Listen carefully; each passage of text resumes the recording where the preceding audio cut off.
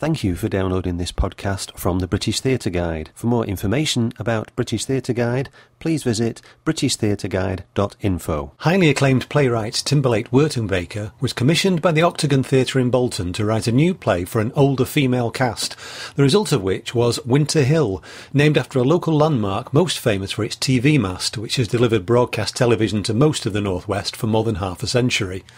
I managed to speak to Timberlake when she had spent nearly a week in rehearsals for the play in Bolton. To me, Winter Hill means the excuse that the BBC gave out when um, when the television went down back in the 70s. That was that was the main transmitter for the whole of the northwest. But uh, obviously, there's a bit more to Winter Hill than that. So, uh, what what is Winter Hill the, the play?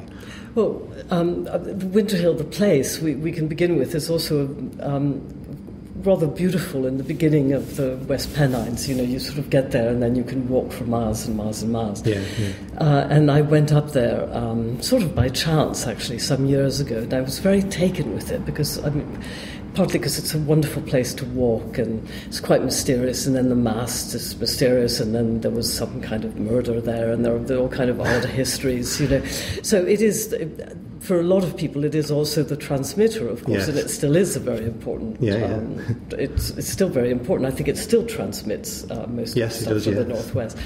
But it's more than that. I mean, it's um, it's the highest. It's the highest. It's not a peak, but you know, it's the highest level. Yeah. Uh, and when you're up there, you look down on Bolton, you look down to Manchester. It, it's a it's a view, so it's a landscape. Let's yes. put it that way. Yeah. So it's a, it's a place of stories, but uh, where did your story come from from that hill? well, the way all stories come, you know, you sort of see something and you think, oh, I'm quite intrigued by that, and then you sort of get an idea for the play, and then you think, oh, well, actually, that's rather a nice place to set the play, and then that shapes the play. It's very hard to explain what starts first. I yes. mean, I'm not sure that the the walk was the beginning. Well, the walk sort of was the beginning of the play. I hadn't really, I didn't really have much of an idea for the play until then. Yeah. But after that, the the landscape influences the story, and you put the people in the landscape, and then that influences things, and then you get a play. Yeah. Um, in that weird way that. Um, so difficult to explain, you know, yes. how you end up with a play. Yeah. Um, so, what happens to the, the people in this play? Ooh, well, you have to come and see the play. Course, I mean, yes, I, don't, I, I, don't want to give up the whole plot because no. it's kind of it's it's meant to be a little bit of a. Um, uh, it's meant to have a bit of a plot. I mean, it's meant to be a little bit tense. I hope, you yeah. know, keep people interested. Um, but they, um, you know, some people are against. There's going to be some big building, and some people are against it, and it's it's about that really, and it doesn't end well. Let's put it that way. Yeah, there's something in the press release about the uh, the tension between protest and, and terrorism, or, or, something like that. So that's right. There's a so there's a threat, and then the threat goes. Uh, then things escalate. Yeah. Let's put it that way. I mean, I, I sort of don't. I mean, of course, everybody will know what it's about quickly, but I. I don't like to give it. You don't want to make it too uh, explicit. Yeah. No, I don't, because yeah. um, I mean, the play is not really just about the plot, but that's part of it. And um, yeah. yeah. It, it, sounds like the sort of thing that, uh, that everybody will say it's got relevance now, but we can see relevance in pretty much anything, really, can't we? Once once it comes out, but there is, there is a there's a lot of protest and a lot of misunderstanding between sides at the moment. So it, uh, without being too explicit, obviously, that comes into it, does it? There, there is something that's relevant now. There is. I mean, it, it, and of course, I started writing it about two years ago, so yeah. it, it's sort of caught up. I mean, it is set in the near future, not the present, but I'm sort of getting scared, yeah. you know, that it'll be, you know, it'll be in the past before it's in the future. But um, I mean, yes, obviously, it's about what um, the the the building, you know, the concrete, the the, the you know, the what's the verb? Concretization yes. of um, green spaces. So that is something that interested me, and, and there is massive building in absolutely every area yes. of the world. I mean, not just in England, but in England it's particularly massive because it's, this is a small island, but everywhere else. And, and um, it has to look at what the consequ- it does look at what the consequences are, and there there are arguments on both sides, and I try to put both of the arguments. I mean, there are a lot of reasons for building and a lot of reasons for not building or for keeping those valuable spaces we have, which are shrinking rapidly. And um, I mean, this is not a play about climate change, but you cannot write a play in which there isn't climate change somewhere in the no. background. I mean, it's certainly not a play about climate change, but we live with that. So it's not a polemical piece. It, it's a balanced argument, is it? Well, I hope it's balanced. I mean, I, I, I don't do, um, you know, I, I, I mean, partly because I'm extremely indecisive myself. You know, I don't, um, I don't preach. You know, I'm not Yeah. trying to say this is this is wrong or this is right. It's just trying. I mean, I think a play, what a play can do, is try to look at all the, um, indeed, look at all the arguments. Yeah. And in fact, that's what you know that's what plays are really because because different people say different things and the writer's voice really doesn't need to be heard. I mean, No. whatever I think privately is something else. I'm not going to write a play, you know. Otherwise, I would write a polemic. And Yeah. Well, that, that's the difficulty with something that, particularly something that's an issue. Uh, a trap that's easily fallen into is for every character to speak like the writer. So how, how do you get how do you get into the heads of people who are very different from you, whose opinions are the opposite of yours, perhaps? well, that's the fun. Yeah. I mean, that really is the fun because it's, it's sort of great fun, and and, and also it, it, it is always very interesting to look at the other argument. Yeah. And as I say, because I'm indecisive and easily swayed, and you know, any argument can persuade me at you know any time of the day. So that's an It's- advantage in this It's case. an advantage if you're a writer because you can just then take those different characters, and and people have. Um, I mean, they not only have different beliefs, but they're different people. They come from different places. So, as you're shaping a character, um, you can do that. Now, obviously, I haven't, you know, there are a lot of characters I haven't put in there. So there, there is, um, I mean, it's, it's a group of women, so they are not totally, they're not from all this, it's, it's not about all the spectrums No. of the political, you know, the political sphere, but they don't agree and they do have different views and Yeah. they want different things. Yeah. So it does represent our uh, increasingly polarised society. Well, I hope. I, I mean, I hope it. Well, I don't like the fact that our society is very polarized, but I think we. I think the the problem is it's not a problem, but actually we don't know now. I mean, we. It's very difficult to know, really, how to shape the future. I don't think anybody knows that. No. Do you think theatre can help with that, or do you think it mainly preaches to the converted? I, I think also, I, I hope theatre doesn't preach to the converted. I mean, I really hope people are going to come and, and, and you know, dis, well, disagree with, there is no conclusion to the play, but I mean, I hope people are going to come with all kinds of different opinions themselves. I think what theatre can do is just pose some questions and, you know, look at language and look at what we say a little bit and just it just asks a few things. I mean, finally, theatre has to be, I hope, an interesting night in the theatre. You know, it shouldn't be. It's not a lecture, and, Yes. and it shouldn't be telling people what to think. But it can. Um, I, I, theatre can open up some things. Just query. I think. I think it's a very, very good medium for that. I mean, even silent theatre can query then what we mean by speech. I mean, all theatre does that in a way. Um, it's not because you have a lot, a lot of words in a play that it's more, you know, more of a political play than a play that's also silent. You know, I think, um, I think all theatre can can pose a question about something. Yeah, and a lot of your plays have done that. Even going back to, uh, I know, I know it's a play you've spoken about a lot over the years, but Our Country is Good, which I remember seeing many years ago, Max Stafford Clark's production at, uh, at the Young Vic, um, and that's a play that's that's about how the theatre and how the arts um, can make a difference, isn't it? And has has that opinion sort of uh, that idea of what the theatre can do has that come right through your career? Do you think through your writing?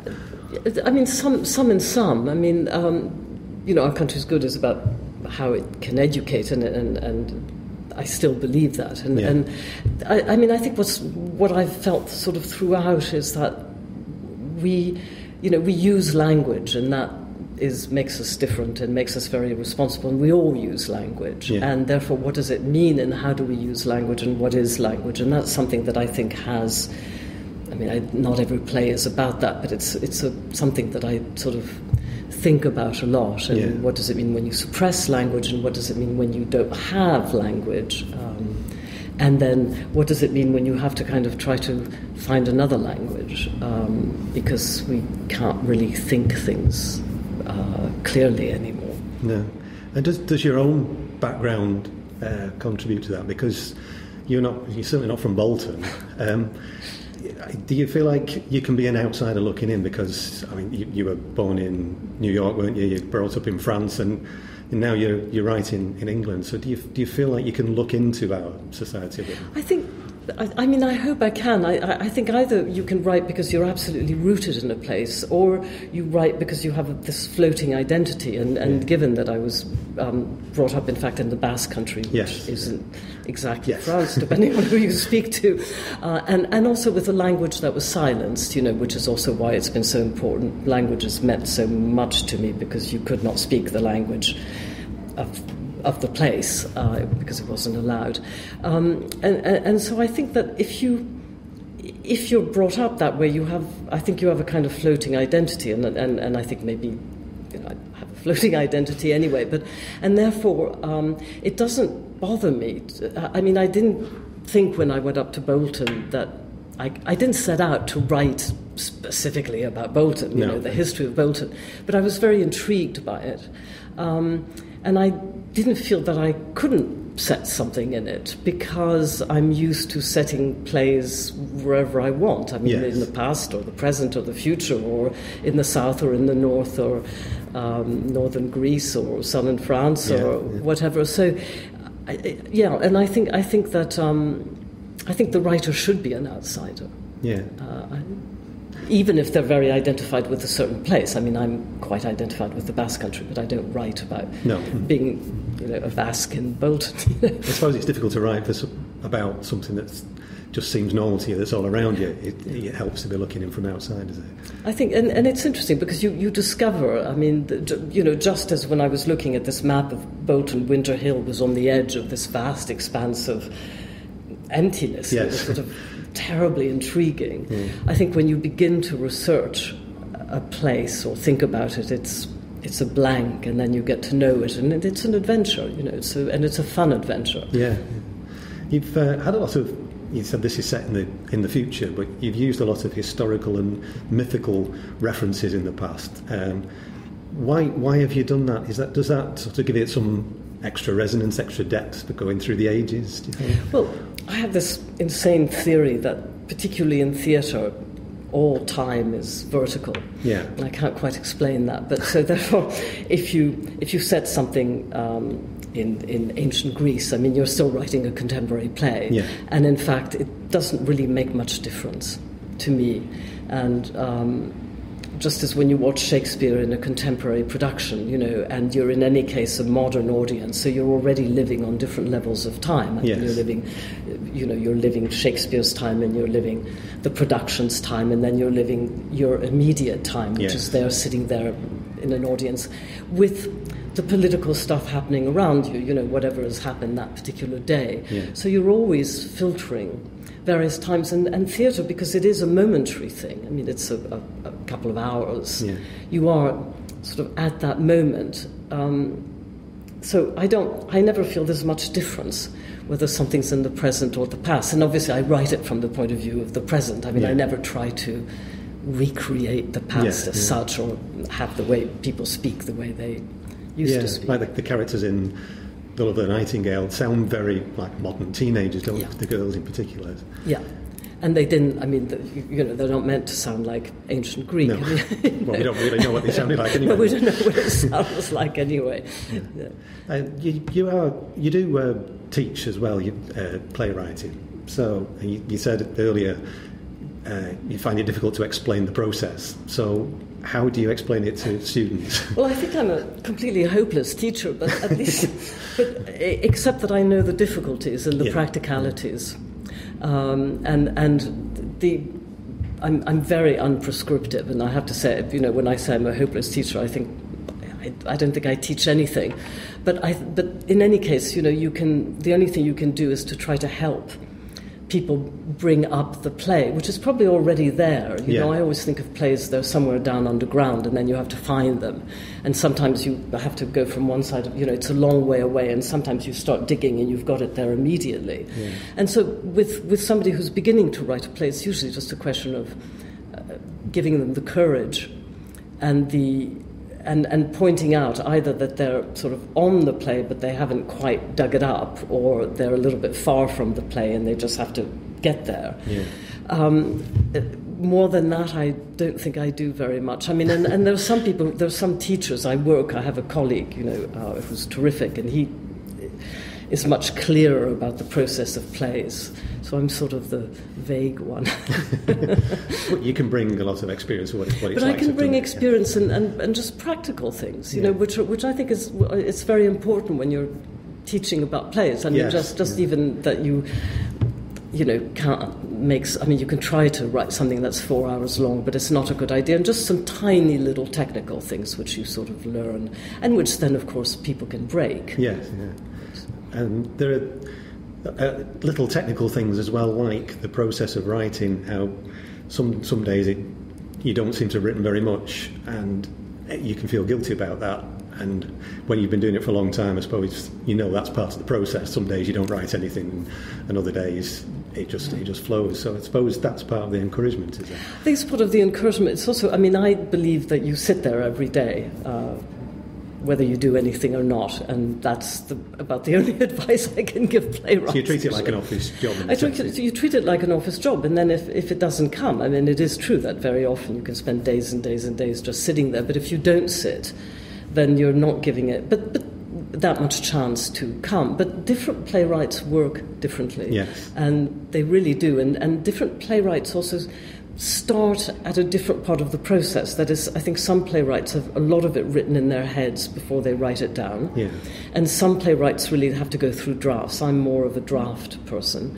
Um, to each his or her, especially, own. Yeah. But I think that when you're, you know, because I have a little bit more experience, I can also try to um, help with the possible panic and, you know, that judgment, which of course I'm very familiar with, you know, that we all do to ourselves. I can't do it. This is terrible. Why am I doing this? You know, why did I make this decision? How, you know, how do you just ignore that? Yeah. And, and what, what about the idea of being a, a professional playwright for a living? I know I saw something that you were, you were interviewed uh, a year or two back where you said how difficult that is now to just do that and you've got to get into TV and, and film uh, writing. Yeah. Is that uh, still the case? Because you seem to be somebody who's had a very successful career. yeah, not rich. you know, um, I mean, it, it, I'm very grateful that I was, you know, that I've been able to to continue um, doing it because, as, as I think I've said before, you know, year by year, I don't know. You know, I really don't know.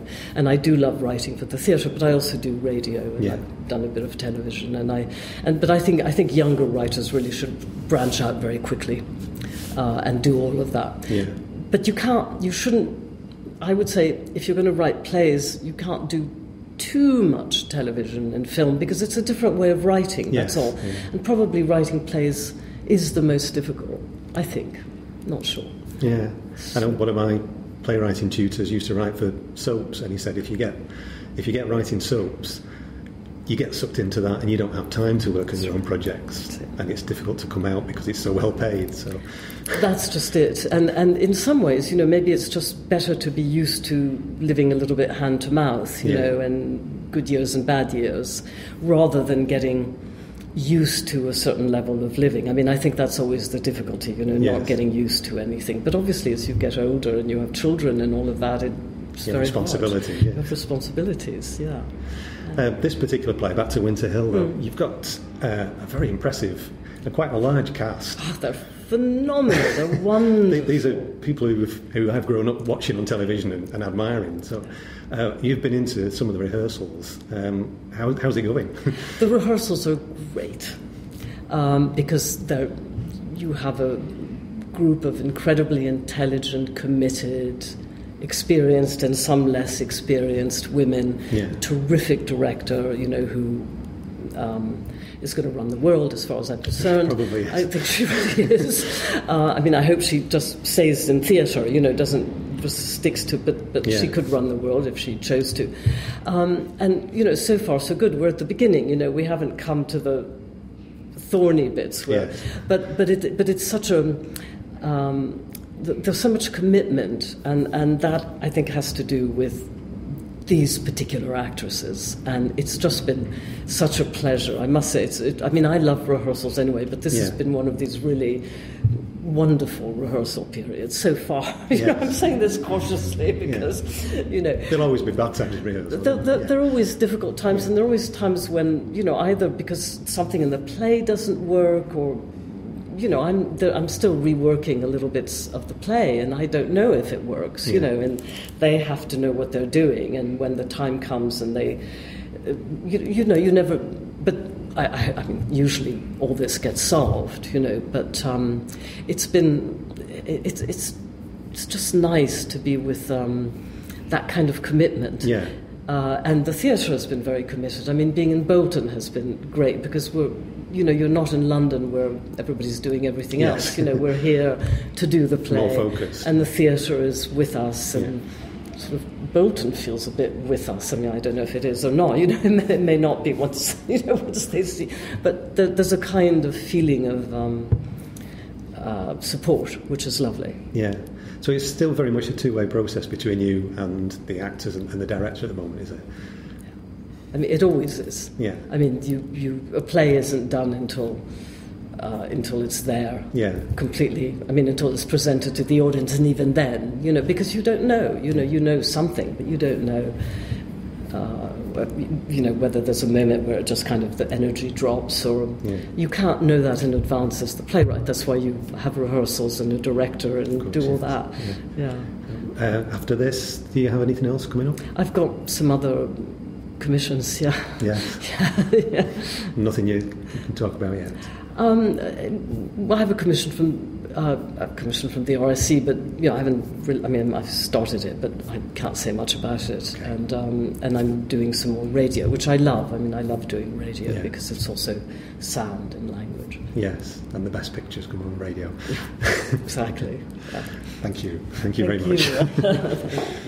A couple of weeks after I spoke to playwright Timberlake Wertenbaker, I managed to also have a chat with three of the cast Cathy Tyson, Souad Faress, and Janet Henfrey. Well, first of all, I spoke to Timberlake a couple of weeks ago, and she was a, a bit cagey about telling me telling me about the plot itself. All right. Oh, So, right, quite um, right, yes. We won't uh, go there.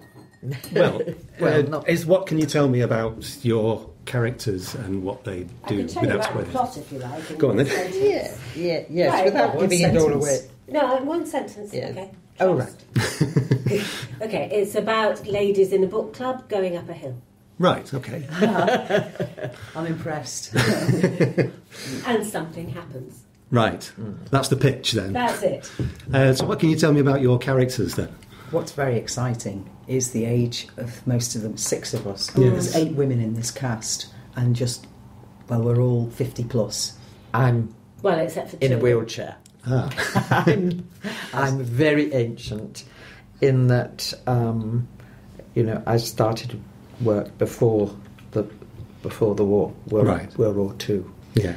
So uh, I have to be even older than I actually am. Well, I believe you started off playing characters who were much older than you many years ago, didn't Oh, you? I certainly did all through drama school. I was very skinny in those days and very, very easy to To make up. lots of lake and grey. and uh, I think the youngest I ever played was Polina in the Seagull, which was sort of middle aged. Yes. But, uh, but great. And, and now you're still playing characters much Uh, older. well, uh, yes, but actually they're, they're often much younger now, which is rather nice. Uh, so you mentioned it's a, a play with um, eight women, is it? Which which, uh, which is great to see. A female playwright, female director, um, and older female characters. So uh, is it difficult to find parts? It's often been mentioned in the media about it's difficult for older women to find parts. Is that still the case? Mm. It is, but Yeah. also that I discovered last year there's a book by Tonic Theatre called 100 Great Plays for Women. Hmm. And so I've got it and I've been so I felt much hope when I saw these hundred great plays. Some of them have got like But were they contemporary? some of them are, yeah, and some of them are class, you know, older plays. Mm-hmm. Um, so I try, I try to err on the positive about that, and I started a company with two other women called Pitch Lake Productions to get leading roles for black artists Yeah. as well. Um, so it's difficult, but you know we try to overcome those difficulties and do things ourselves. Um, you know, and I, I, I hope this is going to be a regular occurrence. I mean, what is interesting is when we got into the rehearsal room, I just felt there was a difference. I hadn't been surrounded, you know, usually I'm the oldest person in a cast. Yeah. Um, so being around people of similar a- age to me and the experience they have, I just knew I was amongst quality. All that experience, it was. You still feel like you've got something to learn from each other. Oh God, yeah. But also there are two younger members always, who yes. are giving They're so much to the company as well. Yeah. um, it's fantastic. So it's difficult, um, but I want. I think things are changing as well. I think part of the thing with the older characters is that they tend to get stereotyped. I'm not going to Yes, stereotype the playwrights, you know, in their work, but what happens is that they will put in, and particularly now where focus is on, you know, sup- supplanting. Um, barriers, but they tend to put in characters not for the sake of them, but they don't write them, they don't examine them, No. and I think that's what's interesting about this piece is that it's not that the characters are equal, they're not equal, otherwise that would be a really boring play. But they've all got their own kind of intensity. However, they're all very interesting to play. It's not somebody standing in a kitchen Yeah. making an omelette for three hours. It's very philosophical. I think Um, the play as well. I Just- did a job where I was making scrambled egg for a day on, And on oh, an episode of something. They literally, and I said to my agent, I'm not doing any more shows in kitchens. I'm not doing it because I was literally scrambling eggs for the entire day. Yeah. Not again. playing some. and and the the Yeah. relationships with each other within the group Yeah. are also very interesting. Yeah. and and it's not all roses and light. You know, there, there are there are there are people with very different opinions about what they should be doing. Yeah. yes. So, um, and that brings up a lot of. Yeah. You, you, It's a very provocative play. I mean, it is packed with ideas, you know, making points, and it feels very. Well, of course, it's very relevant to this area because of Winter Hill. yes. But but all the things she brings up, it's set in the future, of Yeah, course, yeah. but not very far in the future, and it and it all seems very possible, even likely. Right. to get- Scarily possible. And probably particularly in this area, some of Yeah. them. Mm. I mean, you've got fracking starting and all the rest of it here. Yeah, haven't Yeah. you? You Despite said- mm, despite I'm everyone's objections. Mm. Yes, what I'm very excited about though is the um, in the cast. Thank you. Is the intelligence amongst the cast and and the, you know the in the room and the talent there, and I want to see that more, both you know in theatre and TV. Yeah. To be around that more. First, I was quite fearful when I got came, came into the rehearsal room. I'm used to being around strong women. There's two strong women in the company we created. But I, I'm not used to being around eight or ten, including the director and the writer, Yeah. with these. And I just thought, And am do I going to not be clever enough? our um, stage manager. That's I've just uh, the thir- eleven. Then there's eleven of us. Yeah. Thank you. Um, but I, I thought, am I going to be clever enough for this? Yeah. it raised the bar. I think in the first week it was like, right, I, something's been raised for me here. I've got something to aspire to. But that's the quality of the writing, which is ex- it's extraordinary, and the, the, the shades the, of aspects that she gets into the. It's the quality of the writing, but also there's a lot of talent in that room. Yeah. You know, we've brought a history. Everybody's CV is amazing. Yes, of course, I credit Timberlake, but the minds of the people as they contribute to the discussion, I can see, you know. But when I when I spoke to Timberlake, she'd spent nearly a week here, and she seemed to uh, uh, she seemed to be coming alive by the discussions that were going on in the rehearsal room. So she said she was still changing things at that time, Yes. um, yes. Yeah. based on what what to. she's still changing things. Um, Not anymore. It's gone to the public. Uh, so obviously, sh- uh, it was a two-way thing. It wasn't just her creating something that was a discussion point for you to, yes, to make exactly. into a It production. is a very creative process. uh, what what was the process when she was in the rehearsal room? What was she like to work with? Well, it is because it's, it's still going on. Um, she's a good listener. I found her an Mm. extremely good listener. Um, and we're around the table and breaking the play down for the first week uh, into units, talk, talking about changes, beats that happen within each scene. Line learning is Mm. very crucial in Bolton uh, with Elizabeth. Um, very, you know, le- I've, I don't think I've ever learned lines as fast as this. Sometimes I Yeah. learn lines before a production. Yeah, Um, I just didn't have the time to in this, but a lot of people did come very line ready. You could tell from the way Mm. the reading Picking it up. happened. Uh, did we? We didn't even have a read through, did we? Did we have it? No, no. No, she, no. well, She thinks they, they're a waste of time. we were actually. told that we weren't doing a read through, but we did. Mm. And then we read. But in, but in sections. Yes, Yeah. right. It wasn't Yeah. a.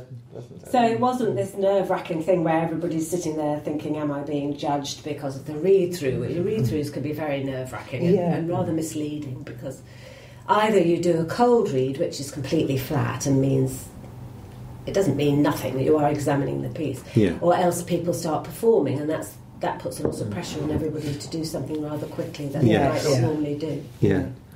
And then we line run before we stand up a scene. Mm. There's a, a big emphasis on line learning after this. And, and uh, it has to be word perfect. Right, she picks up on every word, does she? Uh, well, that's where our stage manager comes in. Yes. Partly why Yes. I mentioned, She's a demon, a wonderful demon. but they really yeah. they really appreciate when you do try make those Mm. efforts and they seem to be happy to do it as well both her They're and amazingly open to helping us with whatever Oh, we yeah. need, Yeah, which Yes, I find actually quite a singular experience.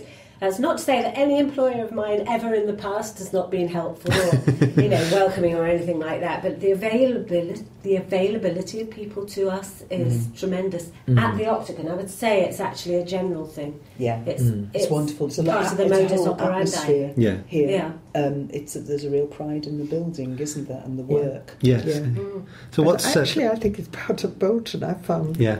wonderful warmth and helpfulness, and the, Yeah, so have I. The the, few is- shops I've had time to go to. the theatre is the centre of a small community? Yes. I suppose a bit like the Everyman where you where you started. It's it's the centre of a, of a community, and a lot of people come Mm. to it uh, because the, because it's where thriving where, here, where isn't they it? live. Turn yeah. into Wildfell Hall. Yes. The audiences. It, it was Yeah. packed, Every, absolutely but packed. even the nights we didn't go, we'd see Yes. these throngs of audiences. That's Yes. really good. Yeah, And, and, and what is I found so wonderful about the way the theatre is run is that, well, Elizabeth, the director, cares passionately about the theatre for Bolton. yes, Yeah. yeah, And she knows so much about Bolton. She knows all the council members in, yes. uh, and, and, and, and works very well with them, which can't always be easy. No, no. yes, she's a good diplomat. And Timberlake said she's got a director who could run the world if she wanted to, but she Well- hopes she stays in theatre. So Yeah. is that how you found Elizabeth? Yeah. Yes, yeah, absolutely. I mean, people have been saying Elizabeth for Prime Minister. Yes. I'm serious. I mean, people are, you know, Well, she has saying spoken in Parliament already. Oh, well, there you go. My God. at, at least the National Theatre. yes. You know, they have been saying that, and although there is a sort of jocularity about that, I mean, Mm. you know, there's a, s- Yeah. there is an awareness of the possibilities of Elizabeth She's very- Newman. Yeah. Very politicised. Um, I also think that she, it's so refreshing. She's from Croydon, and t- to kind of revitalise or think of the possibilities of the North is Mm. very inspir- inspiring. Yeah. Because I've possibly been thinking about moving out of London. I'm a northerner in my heart. Yeah. I've got northern blood in me. Um, so I've, I've always moved between the, two, the north and the south. But this thing of coming to a place, and a Thacker began it, didn't he? And probably Naughton was here before. I don't know the history of him, but there's a picture of Bill Naughton there.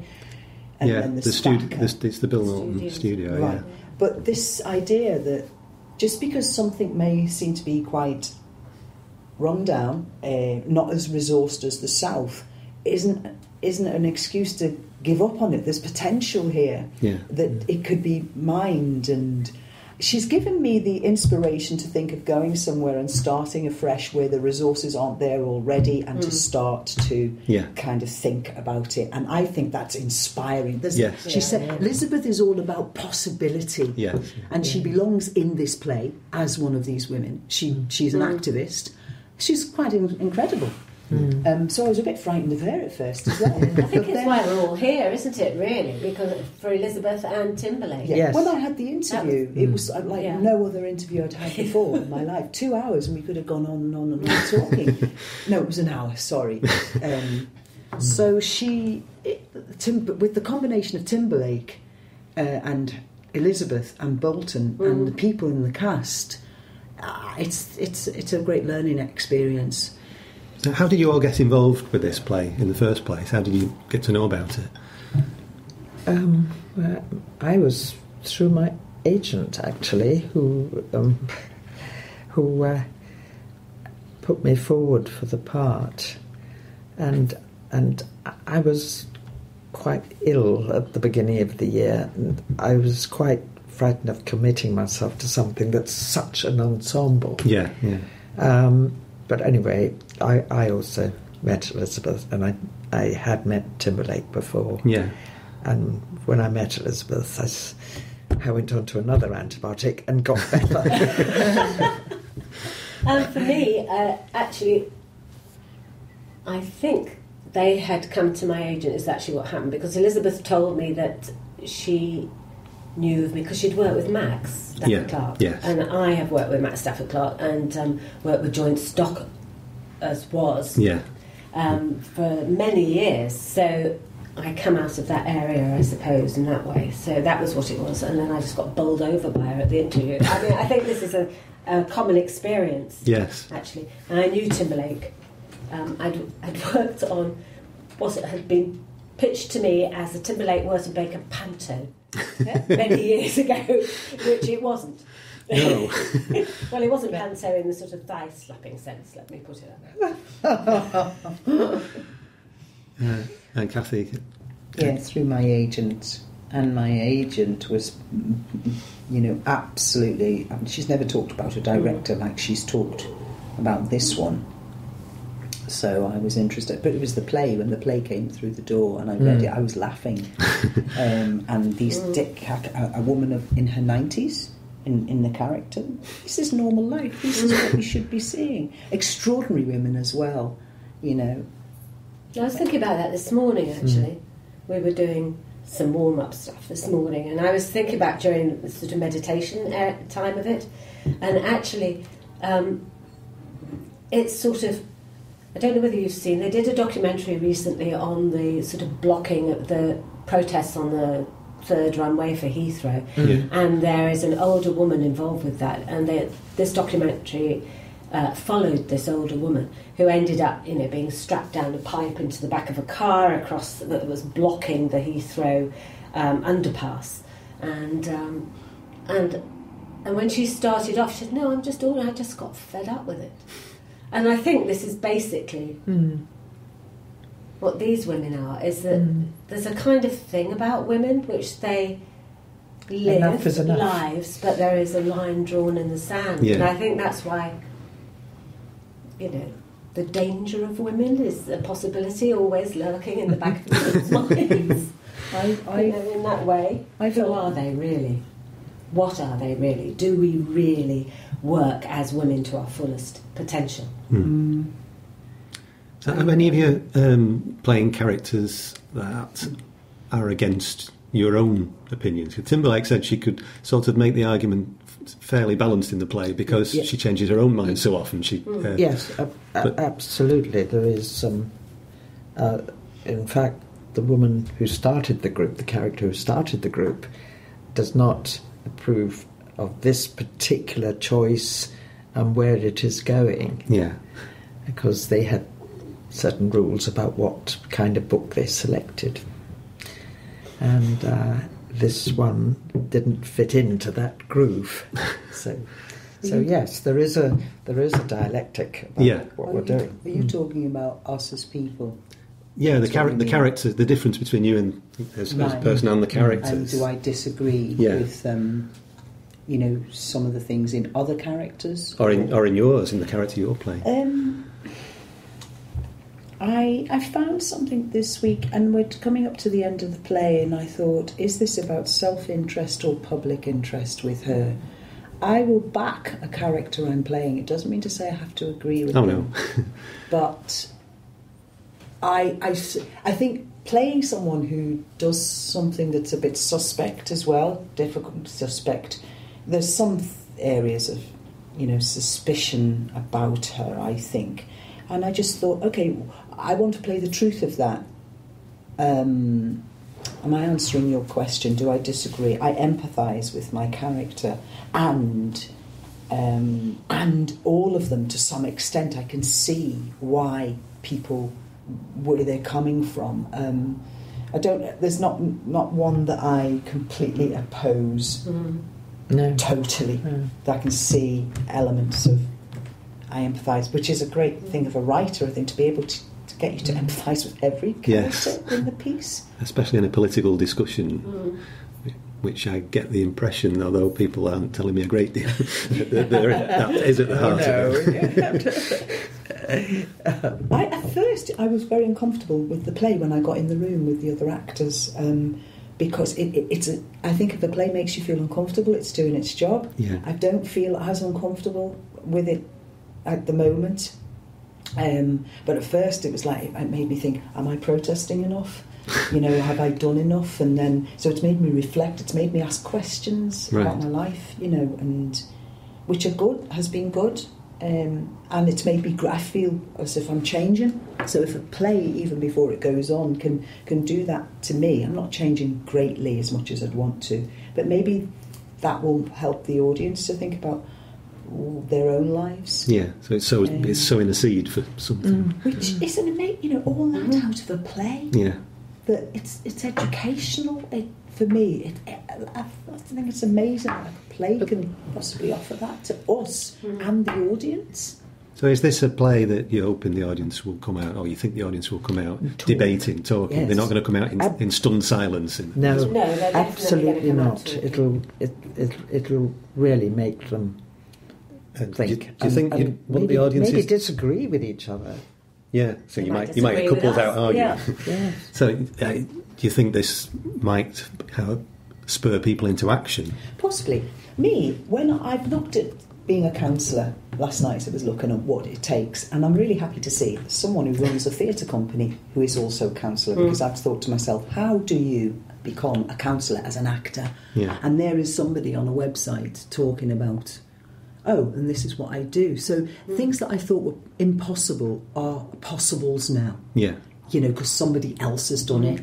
Yes, I mean, it reminds me of that wonderful occasion recently in America where one woman put on Facebook a message to all women that the women should go and march in objection to the election of yes, yeah, Mr. Trump. well, the march happened, of course, but that spun off masses of small communities doing their thing in their communities, and of course, many, many youngsters yeah. who are very disillusioned with the way Yeah. politics is run. Winter Hill by Timberlake Wertenbaker will be at the Octagon Theatre in Bolton from the 11th of May to the 3rd of June 2017. For more information, see octagonbolton.co.uk. You've been listening to a podcast from British Theatre Guide. For more information, please visit britishtheatreguide.info.